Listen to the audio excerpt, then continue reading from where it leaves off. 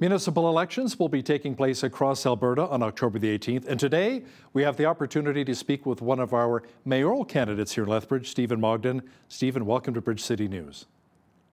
Thanks very much, Hal. Nice to be here today. Now, first of all, let's dive into exactly who Stephen Mogdan is. What do you do for a living? Tell me about your connection to Lethbridge and why you decided to run for mayor. Yeah, for sure. Uh, again, thanks for having me, Hal. So I've uh, been a Lethbridge resident for 20 years now, just a little over 20 years. Uh, I grew up in Calgary, but uh, moved down to Lethbridge after I uh, graduated from law school. Uh, I am married, have been for almost 24 years. we have two son, two sons, one of whom is uh, over 18. Uh, I'm a lawyer, so I've been uh, practicing here in Lethbridge ever since I came to Lethbridge with uh, Stringam Law uh, was previously Stringam Denecky. Uh, people might know that name. Uh, but yeah, I've been with the firm uh, the whole time. I've been a partner here for more than 10 years. Um, so that's what I do in my uh, day job. the nice thing about being a lawyer here in town is that it affords you the ability to do some other things as well. And so I've always taken advantage of that and served my community on various boards. Um, uh, currently, I'm sitting on the YMCA board and have been a, been a, past chair of that and been involved with that for going on about six years now. Uh, previously, um, president of the Chamber of Commerce. I've been on the board for the Downtown Business Revitalization Zone for uh, two terms, so six years altogether. I've uh, been involved with the John Howard Society and with the uh, Lethbridge uh, Economic Recovery Task Force that Economic Development Lethbridge uh, put together. Uh, so I've always been uh, involved in my community and, and supporting my community and things that I think are important. And uh, so that's probably the biggest reason that I wanted to run uh, was that serving in that capacity as mayor of Lethbridge would be kind of the biggest stage for me to be able to to do that to help my community. Um, and uh, I think it's going to be important. Now, Stephen, you say you want to bring a positive and collaborative approach when it comes to leadership here in the city. Can you give an example of what you see as divisive leadership versus positive leadership? Uh, absolutely, Hal. Uh, so we don't really have to look very far to see an example of uh, a divisive leadership uh, situation on council. Really, the past four years, the past term uh, of council has seen a lot of uh, division, a lot of acrimony, a lot of personal attacks. Uh, and I think that's really unfortunate and something that people look at and uh, wonder why that should be happening. Um, and that's bad enough. But really, the, the bigger problem with that is that it prevents uh, decisions from being made in, in, a manner that best reflects the community. Uh, now, I'm not saying that council should at all times be, you know, uh, in unanimity or uh, have a full consensus on anything. There's there's always room for healthy debate. Uh, you'll always see that in any group of people. But uh, when it comes to making decisions, what we've seen over the past is uh, people forming into camps uh, here on council uh, and really getting entrenched uh, and failing to continue listening to other ideas. And ultimately, that results in poorer decisions for our community, and well, that'll that'll bring a long-term negative effect to us. So that's something where we need to to work on that and be a lot more uh, collaborative as we move forward on council. Now, most people agree, Stephen, that there's a real need to help those struggling with addiction and homelessness here in our city. We still have the opioid crisis.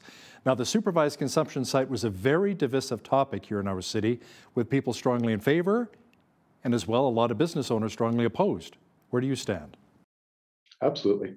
Well, you know, with that uh, supervised consumption site, uh, there were some problems with with how it was run. Uh, its location might have been uh, chosen a little better.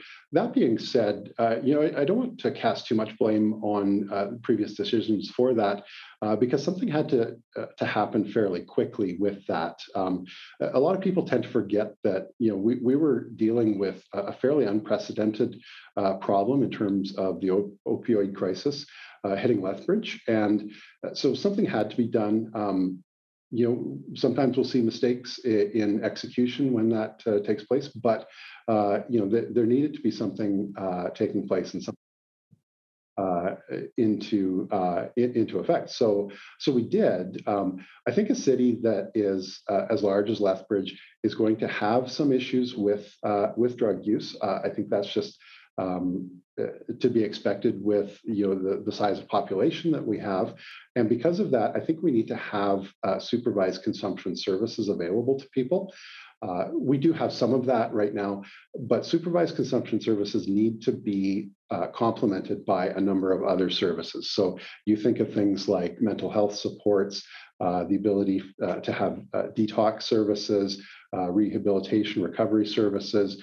Um, housing, uh, so traditional, uh, I'm sorry, uh, uh transitional uh, supportive housing, uh, all of those things are necessary to really set people up to overcome what is a, you know a very very difficult problem to overcome, and hopefully get towards success and and being a you know very positive contributing member of, of our society. So we need to have those things in place. Uh, I would uh, give some kudos to uh, our provincial government for taking some steps uh, recently in, in, announcing some funding for uh, for a facility out to, uh, in the county, but but you know close enough that it should benefit Lethbridge residents. Uh, we need to have some more of that as we move forward. Let's talk about a potential dry site similar to the proposal that the mustard seed recently brought forward.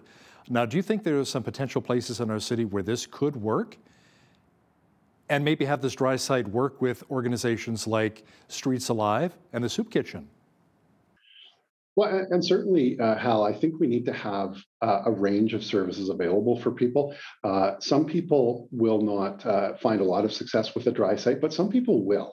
Um, and that can fill a definite need for people. So I think we need to look at having those things in place. I need, I think we need to make sure that we are locating those uh, carefully and going about it in a very deliberative and collaborative manner. It's something where we need to make sure that we are engaging our community, engaging our uh, community leaders to find suitable sites uh, having a dialogue with people that are going to be affected by that site, whether it's a neighbor, whether it's you know somebody that that is in the area for services or what have you. Uh, we need to make sure that that's something that's not just sort of dropped on a, location. Uh, and part of that is having a, a, a, broader conversation with the community so that you know the, the rest of the community understands why it's being uh, chosen for for wherever it's being uh, suggested for, uh, what the benefits are, and what the drawbacks are. I mean, you, you tend to see uh, people leap to con- to conclusions about uh, what a site, you know, whether it's a dry site or not, uh, what a site like that is going to bring with it, and, and in some cases, that just really sort of clouds the discussion and prevents uh, you know prevents having some success in finding a place that's going to it's going to work for the community. Stephen, Stats Canada says when it comes to crime severity index, it's really not good news for Lethbridge. We're number one, especially when it comes to petty crime. Explain your vision as potential mayor for our city on cutting down on crime. For sure, uh, uh always a uh, always a difficult um, subject to uh, to crack. That being said, uh, I think that the same um, crime severity index report uh, that was just uh, released uh, also shows that uh, you know things are improving in Lethbridge in terms of you know benchmarking us from this year compared to last year, and then looking forward we need to assess what the effect of you know bringing in a new uh, police chief uh, and having uh, having him get his uh, legs under him and and the department working uh, as he wants it to be working, uh, the effect that that's going to have as well. But greater than that, Hal, I think we need to make sure that we are making a serious uh, attempt to uh, provide support for people in our community. Uh, you know, we have a lot of people that struggle uh, with with various uh, issues, and crime tends to stem from those issues: the the mental health issues, the addictions issues. Uh, that, that's really why those those crime activities take place. Now let's talk about the million dollars that was cut from the Lethbridge police budget. Would you put a million dollars back in to help Chief Shahin Mehdizadeh and his officers? Keep our streets safe? I think it's something that we need to constantly have a, a discussion about. Uh, we need, I mean, policing is is a very large budget item uh, in, in, any city, and and Lethbridge is no different than that. As we move forward, we need, to make sure that we are uh, addressing what the department needs, uh, when they need it. Whether that means that we're uh, replacing some or all of that uh, million dollar budget, that's a decision that the council is going to have to uh, come up with.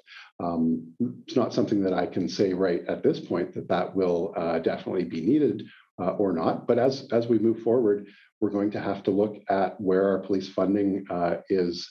Uh, going and where it's come from. Um, you know, the, the reality is if you cut uh, a million dollars out of a budget, that's going to have some impacts.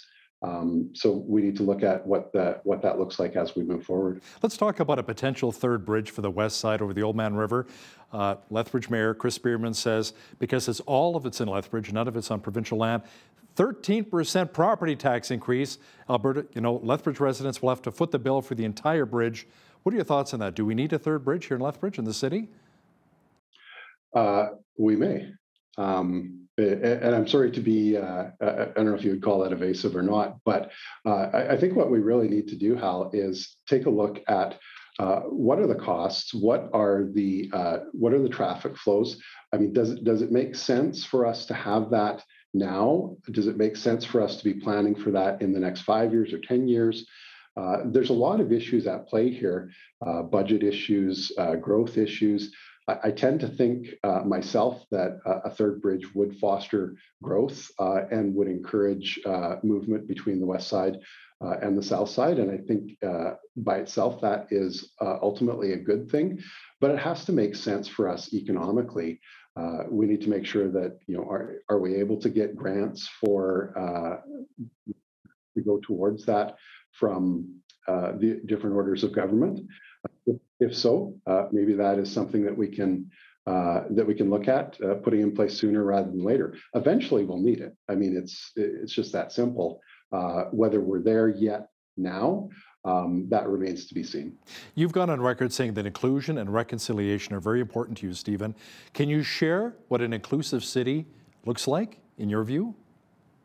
Uh, absolutely. So any community is made up of uh, you know a, myriad uh, of people, and they they have different abilities and different challenges, uh, and so a community I think is ultimately judged on how well it deals with people who face those uh, those challenges.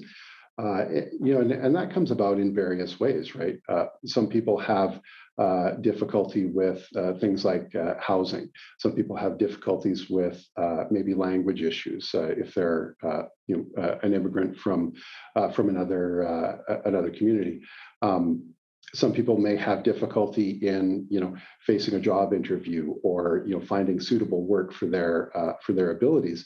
all of those things are things that we as a community need to look at making sure that we we are bringing those people in as best we can. And the city, I think, can play a key role in supporting organizations that interface uh, with those people and making sure that you know if you are a Lethbridge resident and you want to be involved, whether it's you know employment, volunteer activities, uh, whatever the case may be, you have the ability to do that, and you don't face uh, you know additional barriers.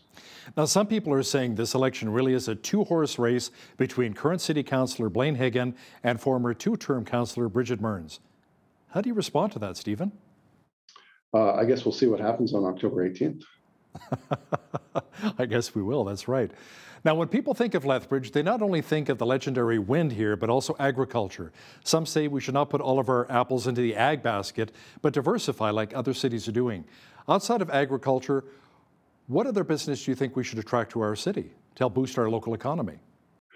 Well, so so too, uh, Hal. Uh, one of which I think is tourism. Uh, I, I, think we can be doing a, a lot more uh, on tourism, uh, sport tourism, uh, and taking advantage of, of, the, the many great sites that we have in Lethbridge, around Lethbridge, close close to Lethbridge. so that's one. another that you traditionally look at is technology, right? Uh, technology services that don't necessarily need to be located in one place uh, or another. Uh, that's something that we can look at trying to attract and foster here in Lethbridge.